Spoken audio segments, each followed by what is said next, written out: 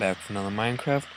We're gonna be doing a um a new series sort of. It's gonna be on this game called which is Horde. It's from MC Minecraft really. You basically fight zombies and like waves. This is our first map which is called Horderlands, which as you can see is right over there. It looks really cool. You have different levels. I am currently rank 4 and untouchable. So I get to start as all these things. So let's get started. You first accept by clicking the red, I mean the iron block. Then once you're ready, and everyone's ready, you would start. So let's start. Hopefully I get good right now, like get a lot of kills. There's a glitch in this map, I think, for like a few seconds that you can't like see some of your opponents. That just happens with me and my friends sometimes. So, let's kill these. Now, there's one thing, I've only died, died in this map from falling because I'm just a noob like that, but that's the only reason why I've died in this map.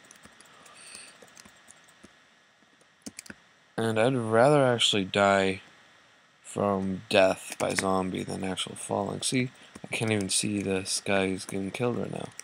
I think he just died. But this map's really cool. I really enjoy it. And there's this shop thing that's like called shop thing. Basically, you get to buy items with the iron. I mean, gold. Since gold is sort of like the currency-ish dealio. So there's a lot of killing involved.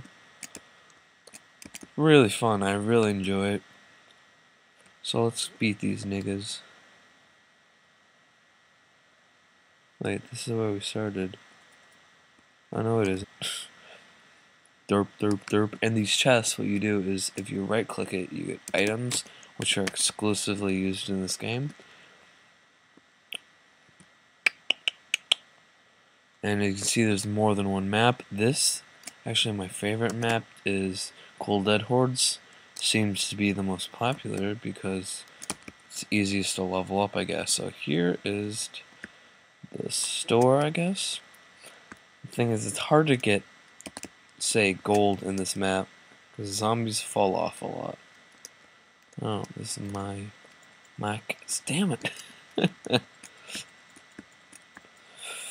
Guy rocking that slime skin over there. So, what the fuck? Okay, no, so that, that's what happens to me every game. So, I'm gonna be doing another game. Let's just see. Uh, so this is basically where it is. It's a really cool spawn area. I really like it. So and peace out.